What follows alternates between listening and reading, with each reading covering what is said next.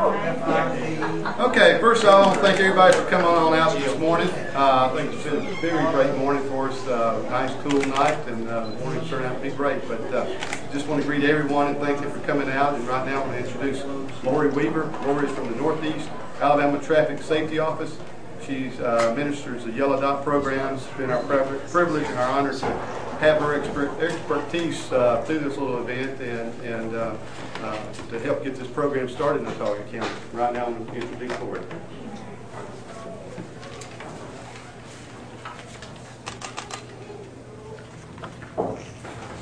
Good morning.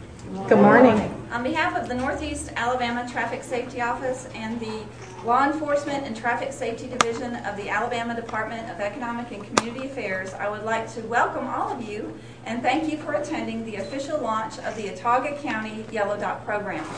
I would specifically like to thank our ADECA Director, Jim Byard, for being here today. Uh, we're very honored by his presence here. Um, the Yellow Dot program is the first program of its kind in the state of Alabama, and it is a cooperative effort between local law enforcement, emergency medical services, and fire and rescue. The purpose of the Yellow Dot program is to save lives.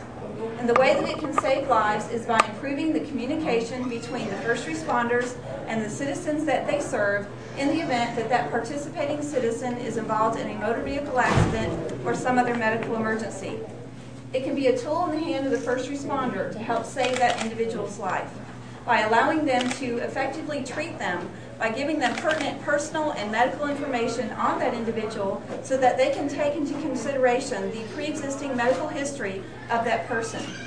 It also will allow them to take full advantage of that golden hour or that first hour after the trauma has occurred to start treating that individual rather than trying to pry information out of them or someone else in the vehicle.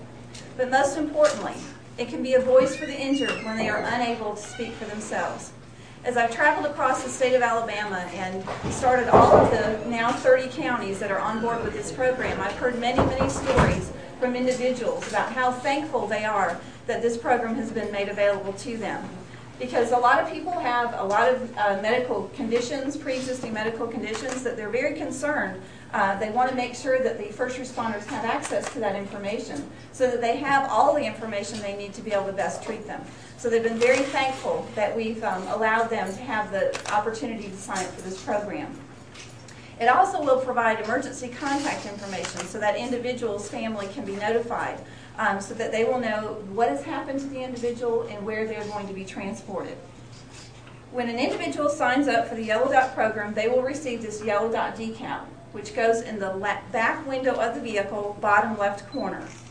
This is what alerts first responders that in the event there is an emergency situation, there's an automobile accident, they see this decal on the vehicle. They know they can go to the glove compartment for this corresponding yellow dot folder. Once they open it up, they're going to see a picture of that individual so that they can positively identify that the information they are about to use belongs to that individual and not someone else. Once they get this out of the folder, they're going to have the individual's name. And once they open it up, they're going to have all of their pre-existing medical history, what medications they're on, what they're allergic to, their emergency contact information, their blood type, all the information that they need to best treat them in a timely manner. On the back is a place for them to put their name, age, address, and phone number. I did not mention a place for a birth date or a social security number. Okay, so there's no way someone can get this out of someone's glove compartment and steal their identity. That is something that will come up from time to time. Uh, there is no birth date, no social security number in here. Uh, if it is a uh, husband and wife situation, we will put them both in the same vehicle.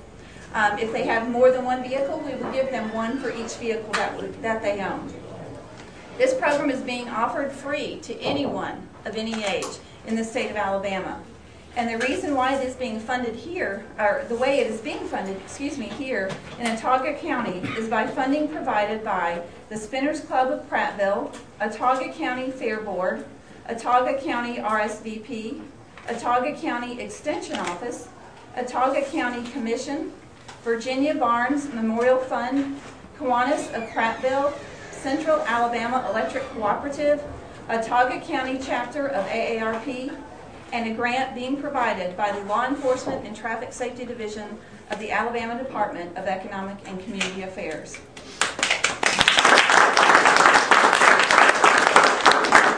Alabama is not the first state in the nation to implement this program. The program began in Connecticut in 2002, where it was funded by People's United Bank.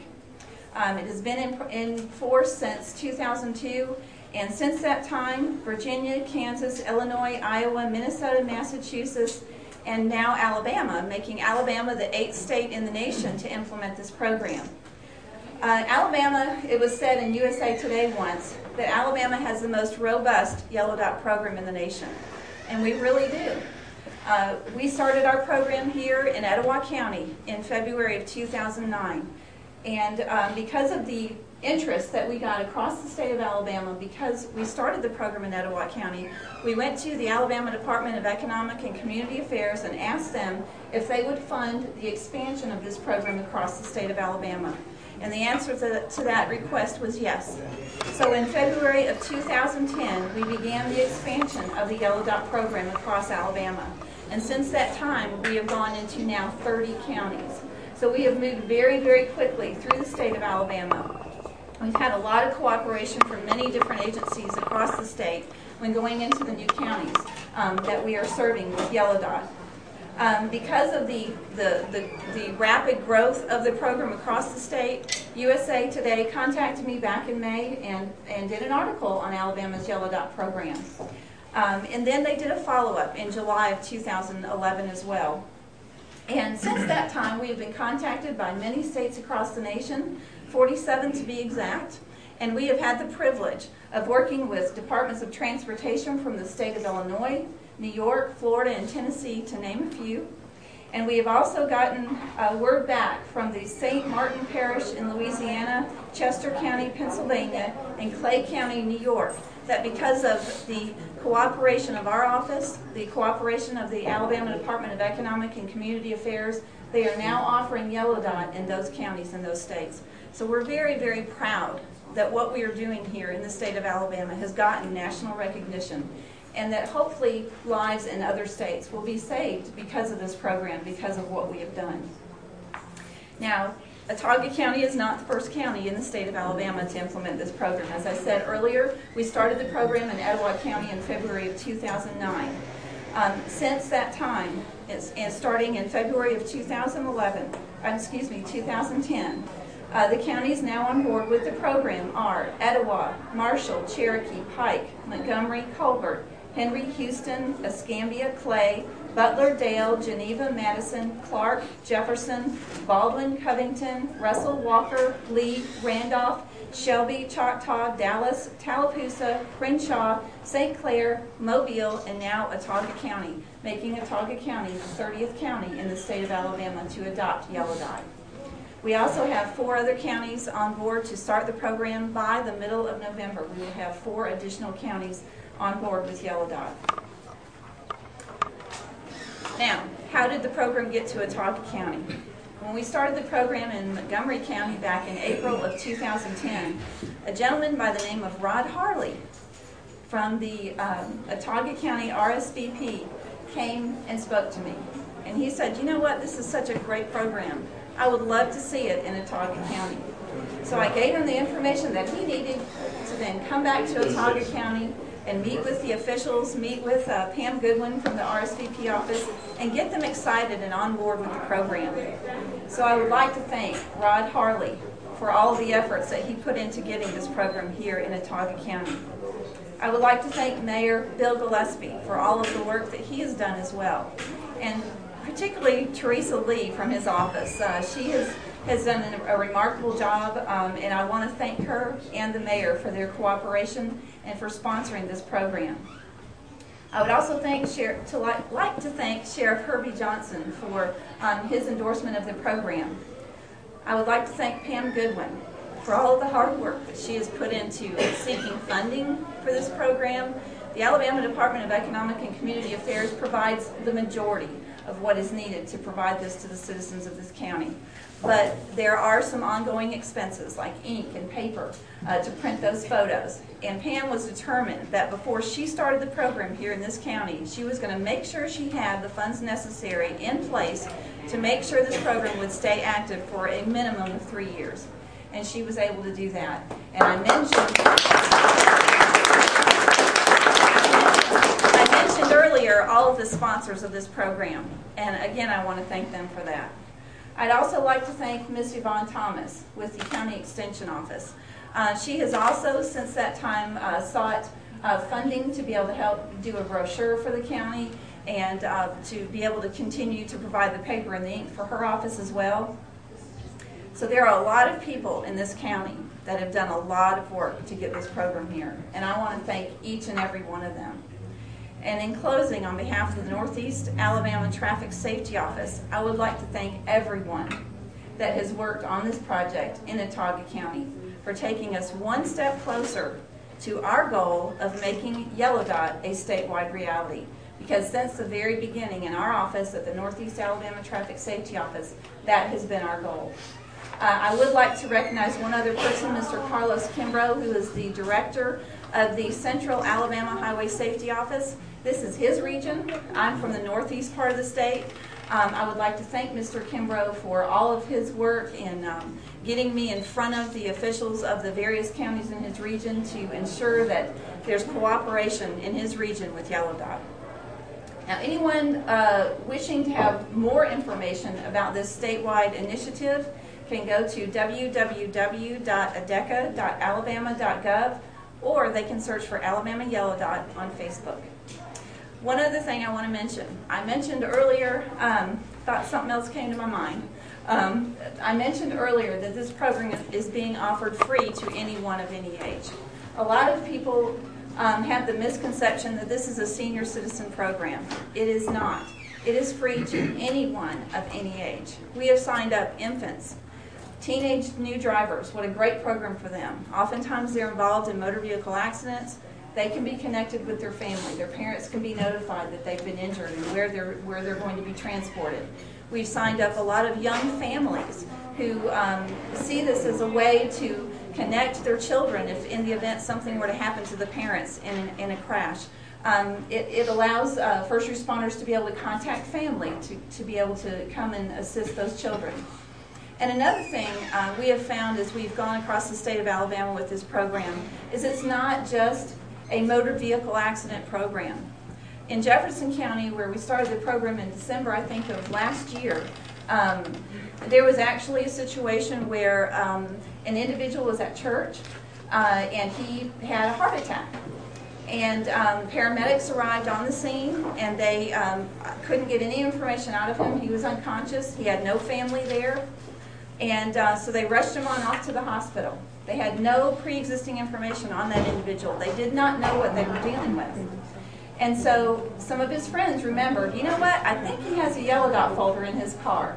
So they went out, got that yellow dot folder out of his vehicle, and they rushed it to the hospital so that the, the emergency um, doctors and, and nurses had access to that information. And they were very thankful, obviously, to get that.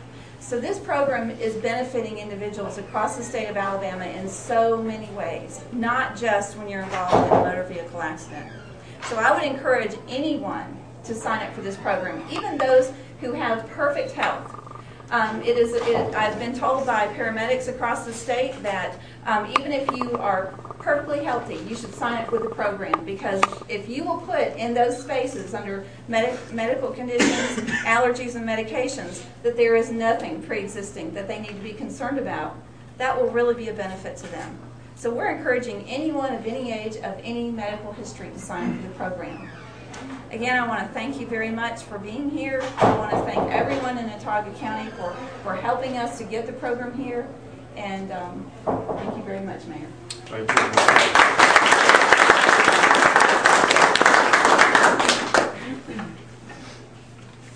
you. Lora. You've done a great job there, and, and it's, uh, it's, it's my honor to do, you know, the work that I've done in society and get to know you. And uh, thank you for all the compliments that you had for us. Uh, At this time, I want to go ahead and recognize all of our elected officials here. We have uh, State Representative Paul Beckman, and, uh, Commissioner Sid Thompson, Commissioner Jay Thompson, and also have Bryan Taylor. If uh, anybody would like to make a com- comment or anything at this time?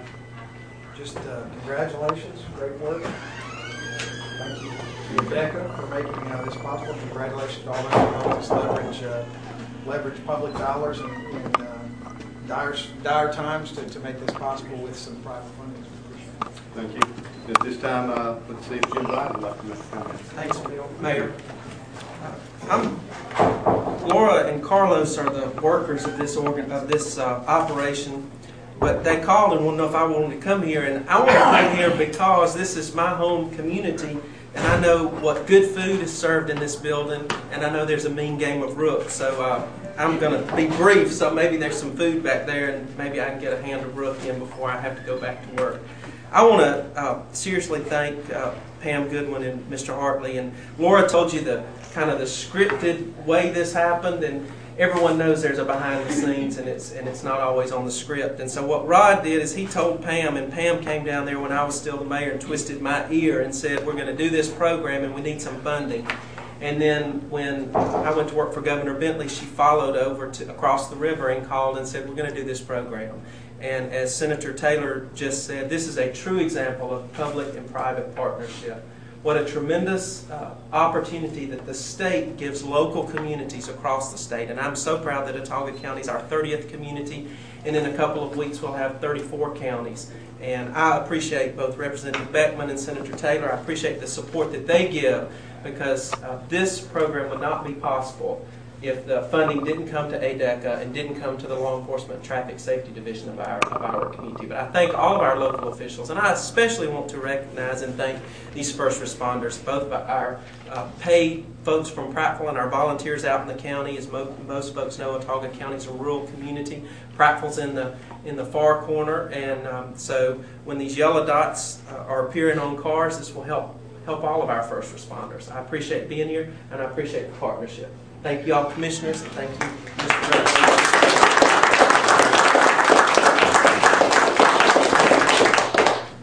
Well, thank you, thank you for all those comments, which one thing I do want to follow up on is that, um, uh, which I am a a motorcycle cyclist myself, and a lot of times the motorcycles get overlooked, but there's also a program for the motorcycles, so uh, please encourage them to, to sign up to it also. But I also want to thank Pam Goodwin and and Rod Harley, Uh, I don't know if you were named after a motorcycle or not. Thank you for all the hard work you put out for this. Um, And again, echoing about our first responders, both uh, the Prattville Fire Department, uh, Police Department, uh, one of the sign-up areas will be at our uh, Police Department 24/7 there. Uh, We'll have uh, sign up at our fire station number three up around Walmart. And then there's some other areas uh, out in the county that, uh, that the uh, volunteer fire department can can help out with. From My understanding, is going to be the, the uh, Pine Level and also um, the Independence Fire Department. But, you know, this is, if, this program, if it just saves one life, whether it's a motorcycle or car, like the other example is just an individual who happened to be at church or a shopping center or something, has some kind of medical issue. If it just saves one life, all the effort that everybody has put into it will be, be, be worth the cost. But, um, uh, the, the county had put up, uh, some funding to help this, and I want to thank them, uh, and, uh, and all the hard work that's gone in from, from their end, and, um, but thank you everybody for coming out. And, um, let's see, I guess at this time, Ms. Lori, you want to explain to, the here, supposed to come back up and explain about the enrollment? Okay, what I want to do is explain to all of you who are here to actually sign up for the program how we're going to handle it so it can go very quickly and very smoothly. If you have one vehicle, we're going to have you come to one of the first two tables right up here. If you have two vehicles, come over to this direction. Um, If you have a spouse that is not here today, we can give you the information for that spouse. Uh, They can come to one of the permanent enrollment stations and have a photo taken another time. Again, if you have anyone else you would like information for, we can give you whatever you need um, here today, and then they can follow up and put a picture on later. Um, Once you actually get your photo taken, what we'll do is we'll attach it to your medical information sheet. We'll go out into the um, parking lot and put the the decals on the vehicles if you would like us to do that, okay? Um, Does anyone that's here to sign up for the program have any questions before we move on to that part of the news conference? Okay, all right, I think we're ready to go then. I've got a question. Where does Mr. Carter put his decal on that buggy he's got? You'll And find then the my place. rabbit a week. Put on the back of that big old truck he has. I think we just stick it on the back of his head, that way we all. Hard spot, hard to spot in Prattville. That's right. All right, I think we're ready to move on. Thank you very much. There'll actually be four of these. There'll be two for you and then two for Mr. Billy. Okay. One of each will go in each thing. One goes in your car and one goes in his car. When you start, put your name in here. Actually, we'll go ahead and fill out both of yours if you want to. And then we'll let, I'll let you take these.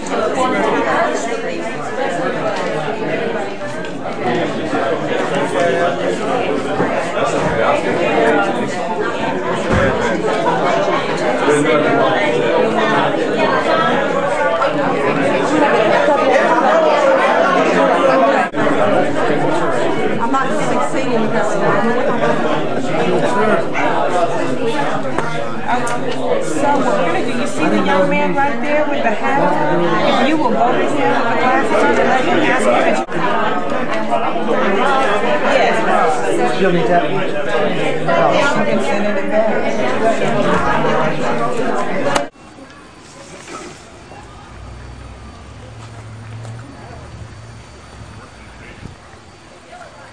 What you could do is go ahead and put it on, and then we'll pretend like you're putting it on for the video. Okay. Might be the easiest thing. That's what we normally will do.